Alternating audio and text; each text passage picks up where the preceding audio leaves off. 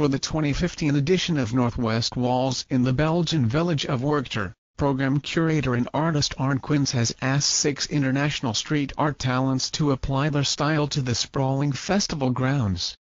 Colossal stacks of industrial shipping containers have become the canvas for artists Gamma Gallery, Fintan Magee, Smug, Pixel Pancho, Nychos, and Lula Goce.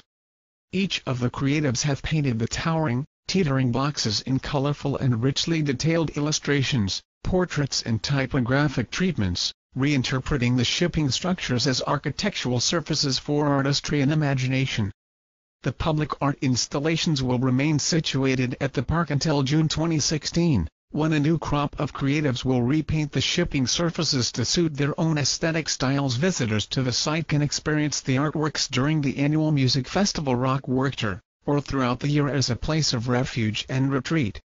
The six highly imaginative, three-dimensional canvases come to life around the vast landscape, providing public onlookers a rare opportunity to experience a diverse range of artistic interpretations within a single outdoor